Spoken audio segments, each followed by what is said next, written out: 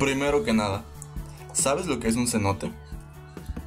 Bueno, un cenote es un pozo o estanque natural de agua dulce abastecido por un río subterráneo que se forma en numerosos lugares de la península de Yucatán por la erosión de los suelos y al que los mayas le dieron un uso sagrado. Los cenotes son muy importantes en esta región, ya que constituyen la principal fuente de agua dulce en esta, pues en la superficie no hay ríos y toda el agua proviene del subsuelo. De ahí la importancia por cuidarlos, preservarlos y fomentar su cultura. A pesar de esto, mucha gente no da la importancia necesaria al cuidado de estos lugares, tanto los turistas como los que están a cargo de estas formaciones naturales. Esto causa que no se le dé el cuidado requerido para preservarlos y promover el turismo y belleza en esta herencia cultural.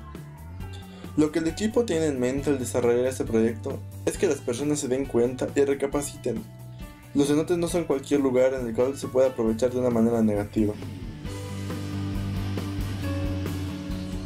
Es por esto que decidimos viajar a Jomún, un municipio muy conocido por su gran variedad de cenotes, para investigar sobre las medidas que se llevan a cabo para la preservación de los cenotes y sobre cómo la contaminación afecta a estos.